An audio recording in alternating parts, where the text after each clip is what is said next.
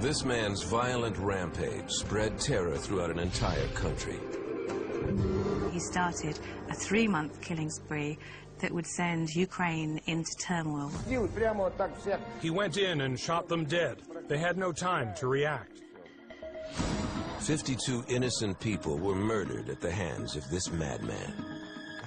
He was an extremely cold, calculating person who'd had problems in his youth. These factors produced an explosive combination.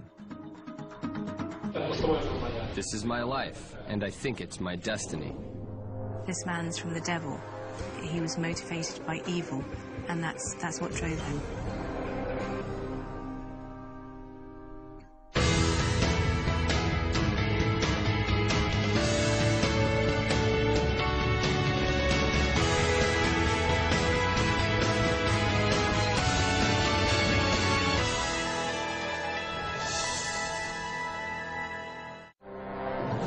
1996.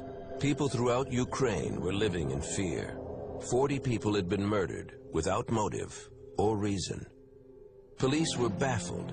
They had no suspect, no leads. The unknown killer's hunting grounds were the small villages surrounding the Ukrainian capital of Kiev.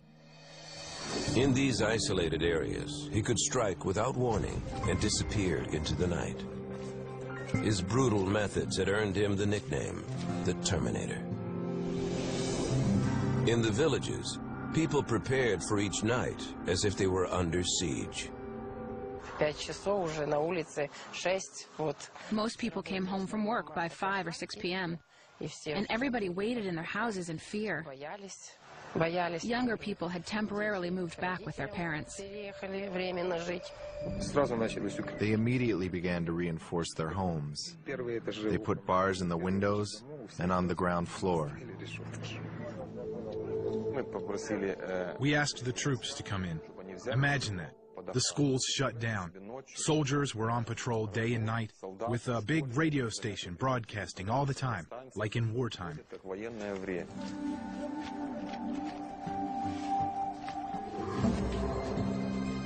The terror was palpable. Villagers knew they were being hunted at random. Their entire family could be wiped out as they slept. The killer was known only by his chilling nickname. Anyone who came face to face with the Terminator was slaughtered.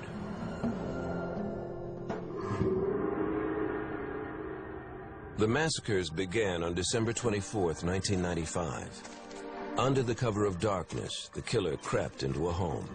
He shot the husband and wife, and then strangled their two young children with his bare hands. He stole what he could carry, and then set their house ablaze to cover his tracks. One week later, another family was exterminated, their home robbed and burned to the ground.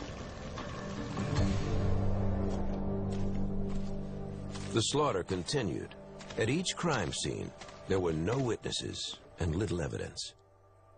If anyone caught him as he was leaving, he would shoot them or, or knife them, depending on which was easiest for him.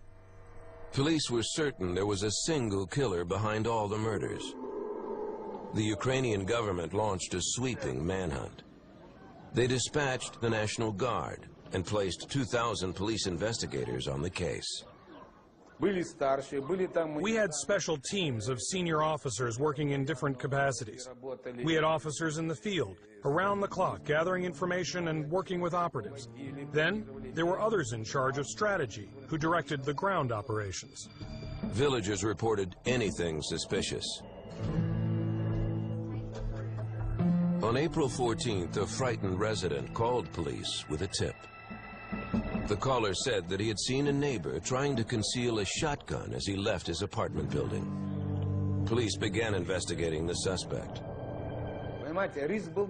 It was quite risky because, on the one hand, there was no evidence. But what if it's him? What if it is this trained killer who shoots people dead on the spot and our officers are only human? Police moved forward with extreme caution. The officers arrived in unmarked cars and blocked off exits to the suspect's building. They wanted to make sure there was no way for him to escape.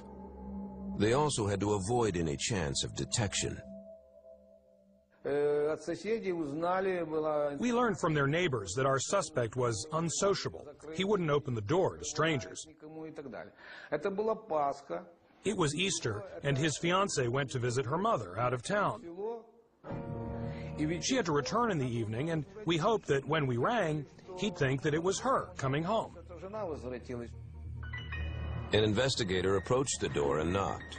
A small, unassuming man with reddish-brown hair answered the door.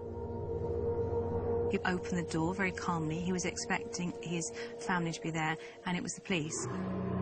Investigators forced their way into the apartment. They asked for his identification papers.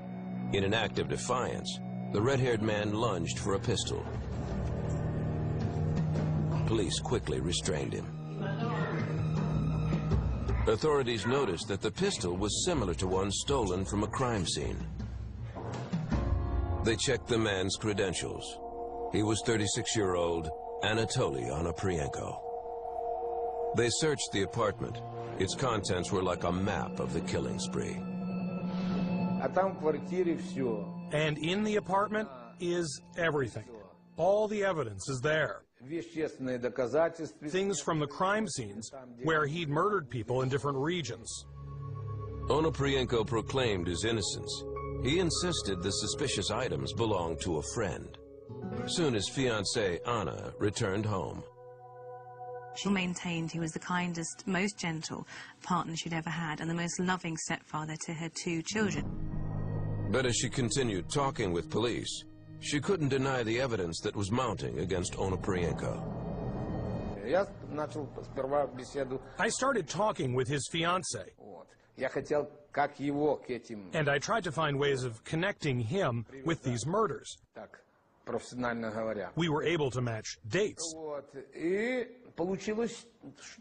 She would give us a date when he wasn't home for a day or two, and that date would correspond with the murders. Officers escorted Onoprienko to police headquarters, while investigators continued searching the apartment.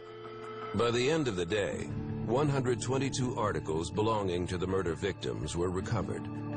Police also discovered the same kind of weapon used in the killings. Officers began interrogating their suspect.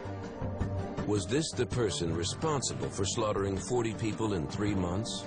The same person who had terrified thousands? Soon, Anatoly Onoprienko would reveal his horrifying secrets.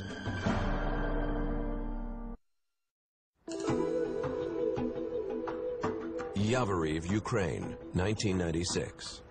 After a three-month manhunt, police believed they had finally captured a serial killer known as the Terminator. His name was Anatoly Onoprienko. Onoprienko's apartment was littered with evidence, but if police hoped to put the Terminator behind bars for good, they needed a confession.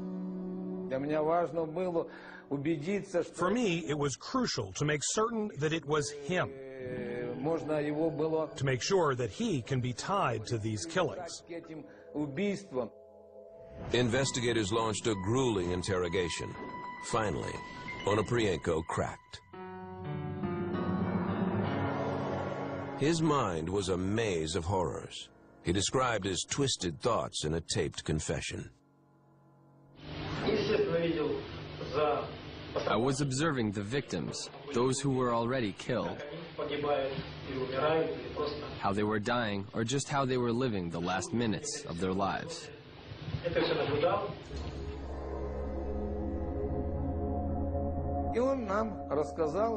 He told us about all 52 murders he'd committed. Not only the ones he'd performed in 1995, but also about the murders he'd committed in the past, a long time ago. When he was caught, he said it came as a relief. He said he was fed up with this dirty business. He was fed up of being covered in blood the whole time. He wanted an end to it. The local police handed Onoprienko over to the Ukrainian Interior Ministry, the top law enforcement office in the country. He said he wouldn't say anything and immediately started making demands. At that time, he gave me the impression that he was extremely greedy, calculating, and cold. The ministry wanted to question the suspect for themselves, but Onoprienko had a different idea. When we came, he said at once, I need a kilo of sweets, some sausage and crackers, otherwise I won't talk to you. It took months of bizarre negotiations and interrogations, but Onoprienko finally agreed to walk authorities through each of his murders. On June 28, 1997, police drove Onoprienko back to the villages he had terrorized. He described the killings with eerie calmness. He would talk to about it as if he was reading from a menu. He said it was incredibly easy. Беріть його. Отак витягнути, так? Отак десь положити. його, значить, там. Чим ви вкрили? З нього помилкася злізла верхня одежа, чоботи були зняти. І... По карманах ви щось шукали? Да, по карманах я шукав, знайшов у нього. Переворачували вниз. Afterward, a panel of psychiatrists interviewed him. I hear voices, and I talk to those voices. Right now, I'm receiving some information about all of you.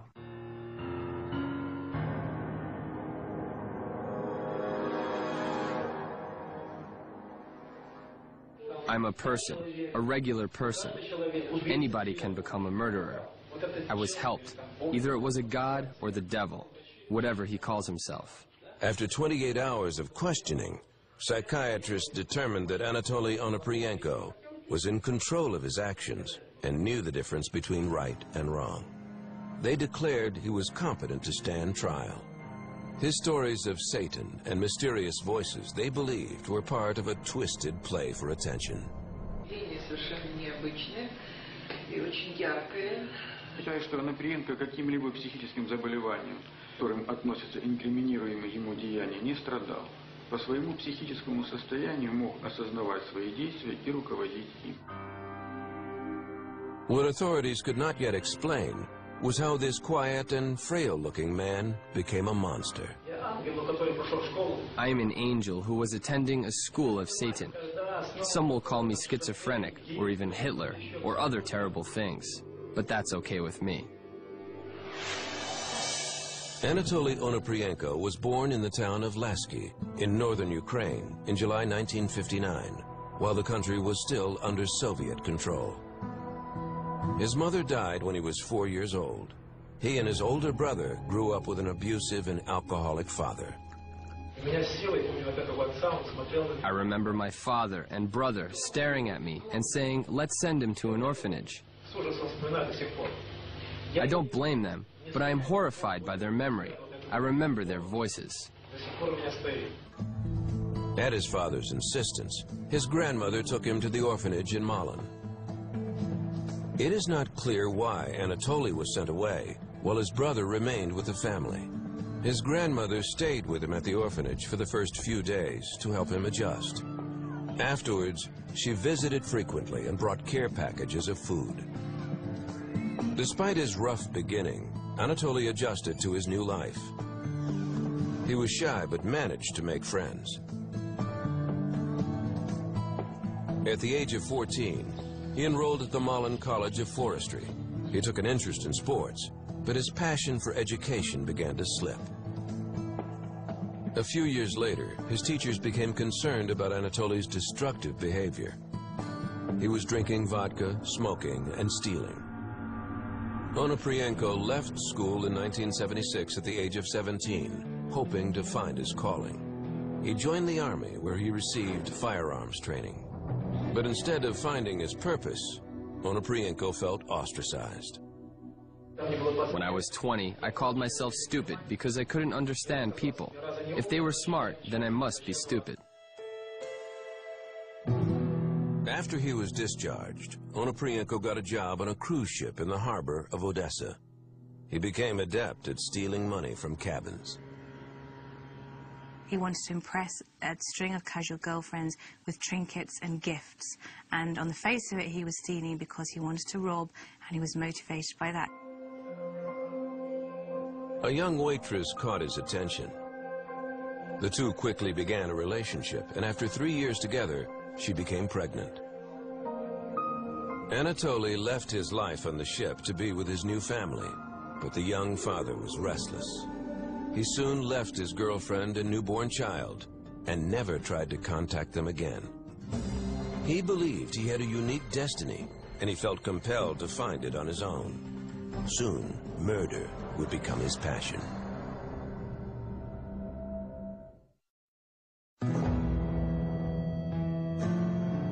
For most of his childhood in Ukraine, Anatoly Onoprienko had felt abandoned and ostracized. Now on his own, he was determined to find a purpose to his life. To pursue his mission, he abandoned his girlfriend and young child and returned to a life of crime. During most of the 1980s, Onoprienko searched for his calling, and he used stolen goods to bankroll his quest. Tough economic times in the region made it easier for Onoprienko to elude police. Onoprienko's criminal activity increased in 1989 at the peak of perestroika, when the USSR was collapsing and no one was responsible for anything. It was around this time that Onoprienko transformed from petty thief to murderer. He broke into his landlady's apartment hoping to steal a few valuables, but she walked in on him before he could finish the job. He panicked. Without thinking, he killed her and fled. He was never suspected in the murder. Onoprienko and his friend, Sergei Rogozin, robbed several houses together. They were driving home from a trip to Russia when they spotted a car pulling a trailer. Onoprienko swerved in front of the vehicle, grabbed a rifle, and jumped out of his car. Rogozin assumed they would rob the couple and then leave. He was wrong. Onoprienko ordered the driver to roll down his window and without warning, shot both the driver and his wife. He buried the bodies and then set fire to the car. Onoprienko threatened to kill Rogozin's family if he didn't keep quiet about the crime. Rogozin agreed. Onoprienko was eager to kill again. For most of his life, he had felt like an outsider. Now, he discovered that killing made him feel important and powerful. Just over a month later, Onoprienko struck again, killing another couple in their car, while Rogozin looked on. In late 1989, Onoprienko ambushed another unsuspecting vehicle. This time, there was a child in the car with his parents. Onoprienko didn't hesitate. He killed everyone inside, including the sleeping 11-year-old boy. He dragged the bodies into a ditch, poured gasoline over them, and set them ablaze. Then the murders suddenly stopped. For the next six years, Onoprienko traveled throughout Europe. His urge to kill seemed to have disappeared. He worked in Germany and Austria. During our interrogation, we asked him if he had killed anyone there, and he denied it and said he had only committed a robbery. At the very beginning, I had an option to commit suicide and to stop this mission to kill. But then, with the passage of time, there was an order from above that I cannot kill myself. I am supposed to live and keep doing what I am doing and finish this game. In 1995, Onoprienko decided to return home to Ukraine and continue his killing spree. He assumed that while he was away, his previous murders would have become legend in Eastern Europe. By this point, the Soviet Union had collapsed and Ukraine had become independent. As a result, law enforcement under the new government was in disarray. Police had never connected Onoprienko's roadside killings to a single gunman and weren't actively investigating the crimes. When he came back and realized that everything had been forgotten and no one was looking for him, he embarked on his second killing spree. Onoprienko moved from town to town while he plotted his next step. He traveled to a relative's house. He knew he'd find what he needed inside. His relatives, who were hunters, had come back from a hunt, left this gun, and went off to cook the fresh meat. He broke the door and stole some things, including the gun. He cut off the barrel of the gun to increase its destructive power. This time, he wanted people to remember his crimes. In the winter of 1995, armed with his new gun, Anatoly Onoprienko traveled to Odessa. He broke into the home of a 70-year-old woman, shot her, and set fire to the house. My main purpose wasn't to rob. My purpose was cruel. I can't explain it. My purpose was to threaten people and threaten the police and lead them in the wrong direction.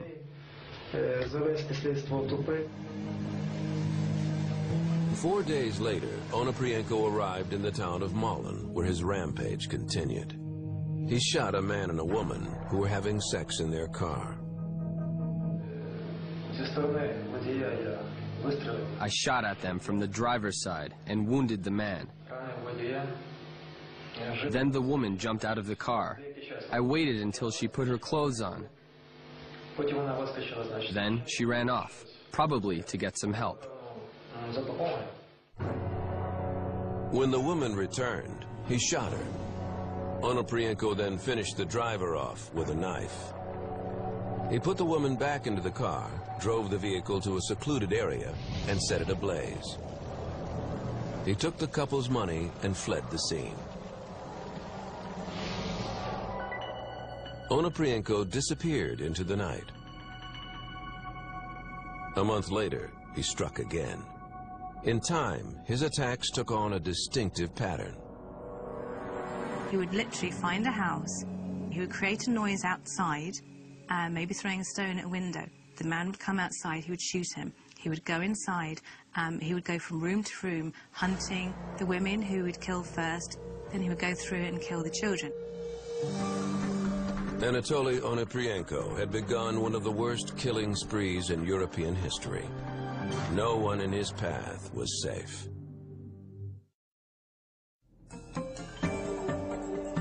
In 1995, Anatoly Onoprienko was on a mission to become Ukraine's most prolific serial killer.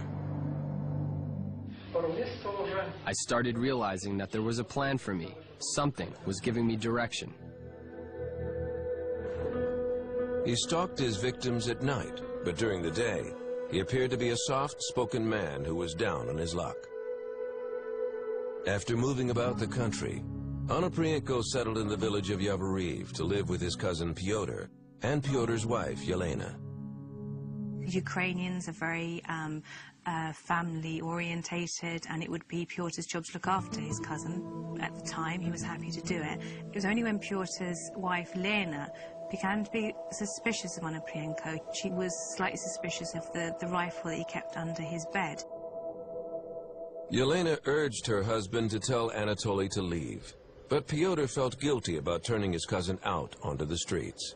Instead, he decided to pawn Onoprienko off on a lovelorn young woman. Anna Kazak was a hairdresser who lived nearby. She was a divorced mother of two struggling to bring up her children. Pyotr thought the two would get along well. He also knew that Anna had a spare room. Her husband, who was an abusive alcoholic, had left her, and she was looking for a love affair and um, a, meal ticket. Pyotr introduced them at a family party, and they hit it off immediately. Anatoly moved in within weeks and assumed the role of a loving family man. He told Anna that he was a traveling businessman. She suspected nothing when he left for days at a time. Not long after their first meeting, Onoprienko traveled to Malin. In Ukraine, families live in, in big, uh, in houses or farms. They live together as grandparents, two or three generations, and children all together.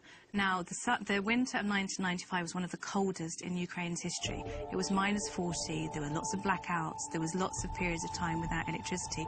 Onoprienko used that to his advantage. The combination of large families living in blackout conditions meant that he could ambush a greater number of victims at one location. And in these remote villages, he was able to attack and then flee without being seen. On Christmas Eve 1995, Nikolai Zachenko and his family were sleeping soundly in their home. Onoprienko approached the dark house and used a ladder to peer through a window. He fired through the glass, killing Zachenko and his three-year-old son who was sleeping beside him. Onoprienko then crawled through the window and advanced from room to room. Zachenko's wife pleaded with him, but Onoprienko showed no mercy. He stabbed her and then strangled their second child, a three-month-old baby. Onoprienko torched the house to cover his tracks.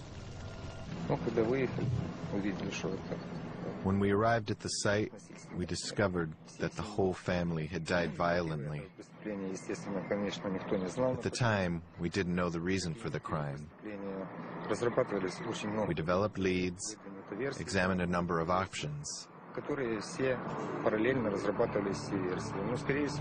We considered burglary the main motive then. We thought it was homicide for purpose of robbery. Seven days later, on New Year's Eve, Onoprienko struck again. He told Anna that he had to go away on business and left for the village of Bratkovichi. He wandered the deserted streets until he came across a local forester.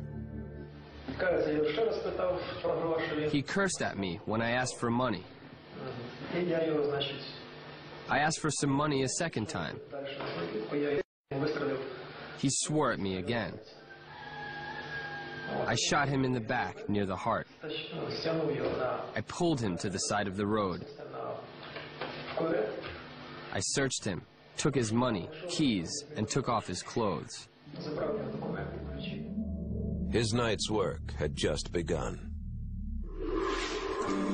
Soon after, he noticed a man hanging curtains in his new home. Onoprienko fired at the man through the window, killing him instantly. After making his way into the house, Onoprienko killed the man's wife and her twin sisters. He then cut off the wife's finger to remove her wedding ring. He said cutting through her finger to take off a ring was like cutting through a small branch. It was very easy. Cutting through flesh was like cutting through butter. Onoprienko calmly boarded a train and returned home to Anna and her children. Later that night, he proposed to Anna giving her the ring that he had chopped off the dead woman's finger just hours earlier.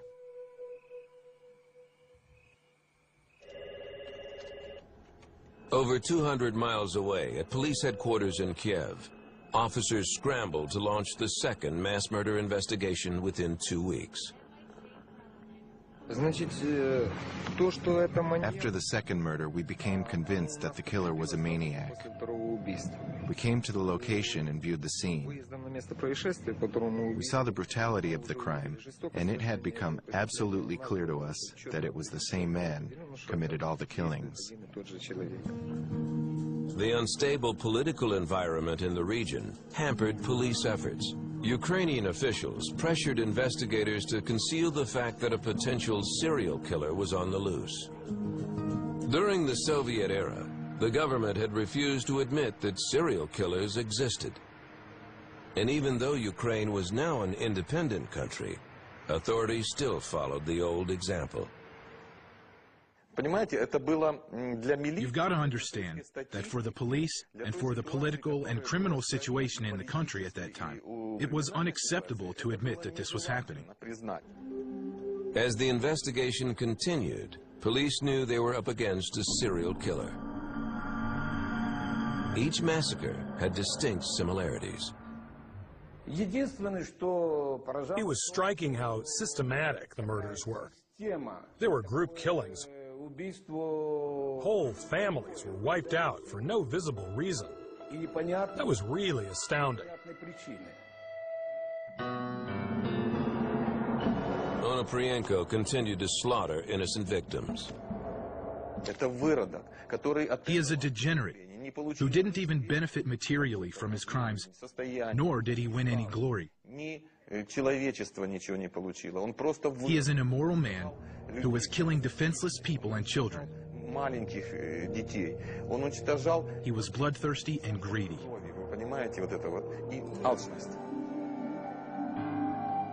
For investigators, catching this ruthless criminal became a desperate race against time. Each sunset meant the killer would have the chance to strike again.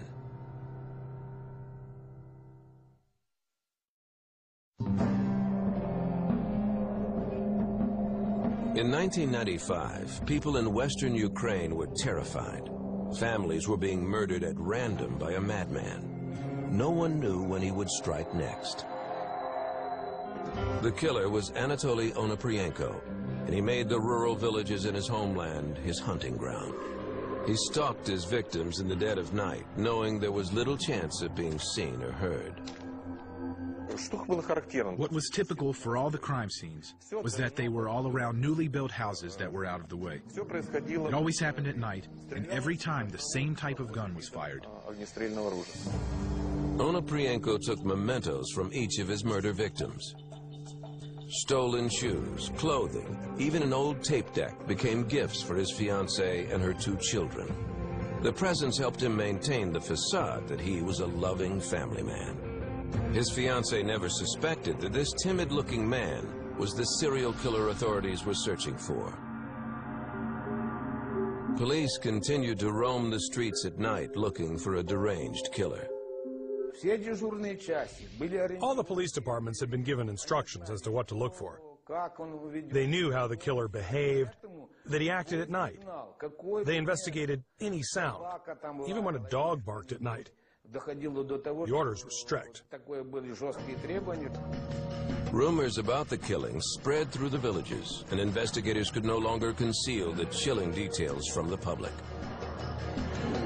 The gruesome facts hit the papers, the media described the crimes as though they had been committed by a killing machine and called the faceless murderer the Terminator.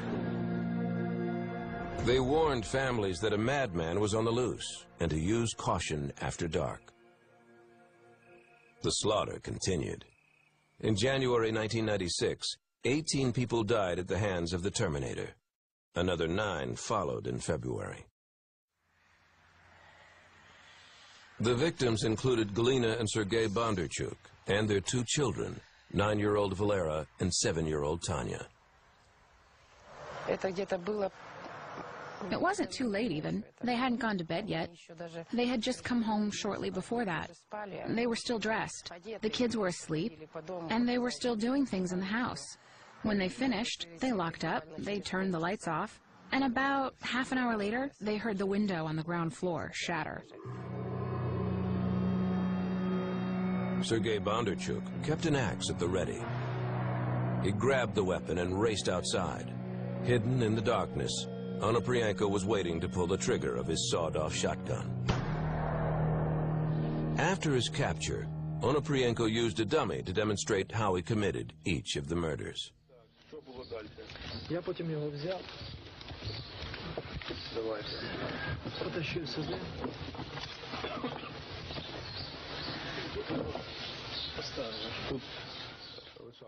Onoprienko dragged Sergei's body away and waited for his wife, Galina, to come out to see what had happened. When she finally ventured outside, Onoprienko met her at the door. He pushed her inside. She turned away from him, and he killed her with one shot. Her death was the most gentle one. She fell down, and he started searching the house. Onoprienko found the children asleep upstairs.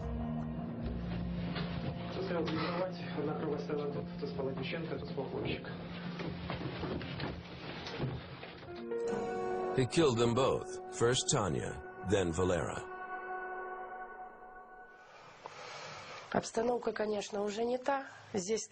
We changed the room around. There used to be a fold-out armchair here. Tanya slept on it. That was Valera's bed. There was blood on the walls, blood on the walls here. We've changed the wallpaper.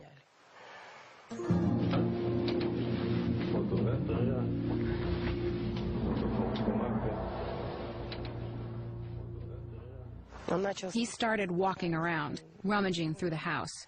But there was nothing. Only a tiny, thin gold chain on Galia's neck. It was Sergei's wedding present, and earrings. There was no money in the house. They lived from hand to mouth. This time, Onoprienko did not set fire to the house. Instead, he traveled back to his new family, stolen gifts in hand.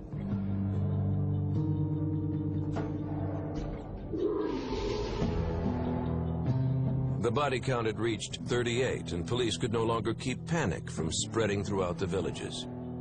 Investigators continued to hunt for clues at each new crime scene, but their work was becoming increasingly difficult. He'd always set the houses on fire. People saw the fire and came to fight it. There was no evidence left, only holes in the walls and cartridges. Eventually, police determined that the holes were made by shots from a hunting weapon, and only a certain type of gun could make those markings, a sawed-off shotgun. Authorities combed the surrounding villages searching for a match. Then, in April 1996, a concerned villager in Yavoriv told police about a man he'd seen with a sawed-off shotgun hidden in his bag. Police responded quickly. A group of 12 officers surrounded Onoprienko's apartment and moved in cautiously. They did not know if their suspect would try to flee or turn violent. Onoprienko put up a brief struggle, but officers were able to subdue him. Once authorities had him in custody, Onoprienko described how he shot, stabbed, and strangled his victims. He also described his lonely childhood in an orphanage. According to Onoprienko, he murdered children so they wouldn't spend their lives without a family. He said, I was an orphan myself, and since I had killed their parents, I decided that I should kill them instead of making them orphans.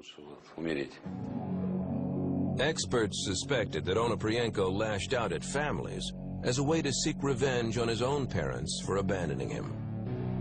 As the interrogations continued, Onoprienko confessed to murdering 40 people, including 10 children, in three months. He also admitted to killing 12 people in 1989. The reason he gave for his crimes was shocking.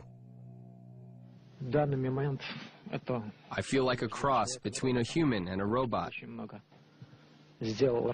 Most of my work was supposed to be done by robots. I consider myself an experimenter with myself and with other people.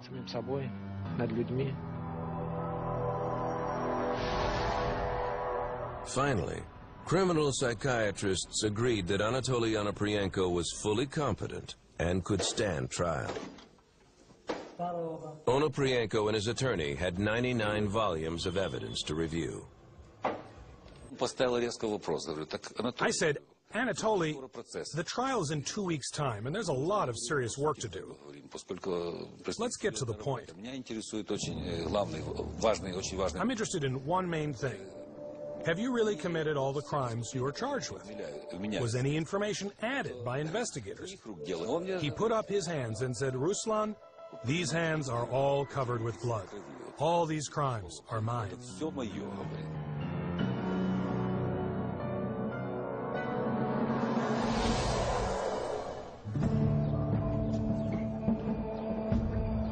In 1996, after a nationwide manhunt, Ukrainian authorities finally captured the serial killer who had terrorized their country. Anatoly Onoprienko had murdered 52 innocent people. The trial began on November 23, 1998 in the town of Zhytomyr, which had jurisdiction over several of the crime scenes. Family members of the victims flooded the courthouse, waiting to confront the man who had massacred their loved ones.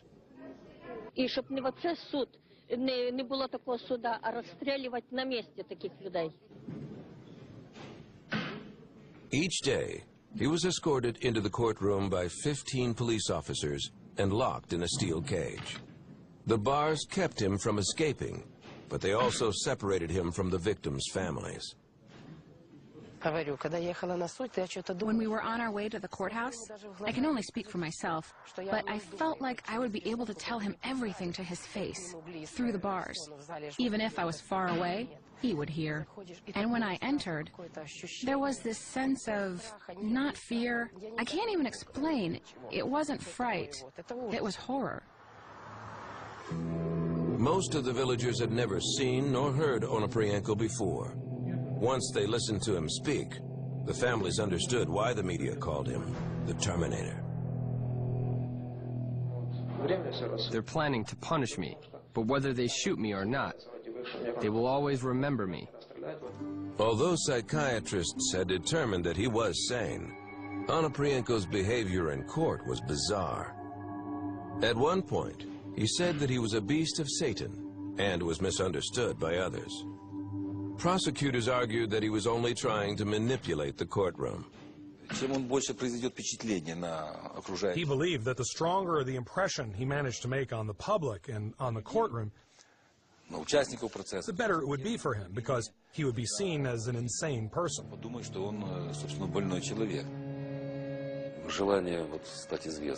He wanted fame or notoriety.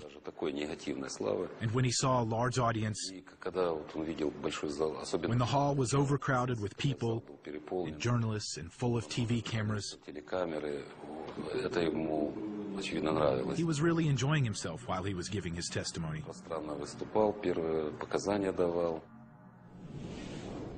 Also on trial was Onoprienko's old friend Sergei Rogozin. Rogozin joined Onoprienko in the cage as attorneys outlined the nine murders he witnessed in 1989. Rogozin claimed he did not take part in any of the murders. Onoprienko backed up his testimony. He could not afford to make an enemy out of Rogozin. Onoprienko knew that if he ever got out of prison, he would need friends on the outside to help him. This is why he never pointed to Rogozin and made every possible effort to make the court believe that Rogozin wasn't complicit at all. Rogozin was convicted as an accessory in the first nine murders and sentenced to 13 years in prison. Onoprienko's trial for the remaining 43 murders continued. On March 31, 1999, the judge found Anatoly Onoprienko guilty of 52 murders over a six-year period. It took the judge almost two days to read the long and comprehensive verdict. The following day, he was sentenced to death. But because of changing laws in Ukraine, Onoprienko would not be executed. At that time, there was an unwritten moratorium on the death penalty in Ukraine, and death sentences were not carried out. People across the country were outraged. They demanded the Terminator die for his crimes. Members of parliament urged the president to proceed with the execution. Ukraine's decision to join the Council of Europe ultimately saved Onoprienko's life. The Council helps Eastern European countries that are trying to establish their independence. It also forbids capital punishment. And as a result, Onoprienko's sentence was commuted to life in prison. He will now be eligible for parole after serving 20 years. While parole is unlikely, many Ukrainians are outraged that there is even a small chance that Anatoly Onoprienko will ever walk the streets again. And what do you think he'll do? He'll keep killing people. He also boasted he always wanted to kill 360 people, and this was his intention. And if he gets out of prison, or when he gets out of prison, this is what he wants to do. I asked him, What are you going to do in prison? He said, I'll escape and be more careful next time.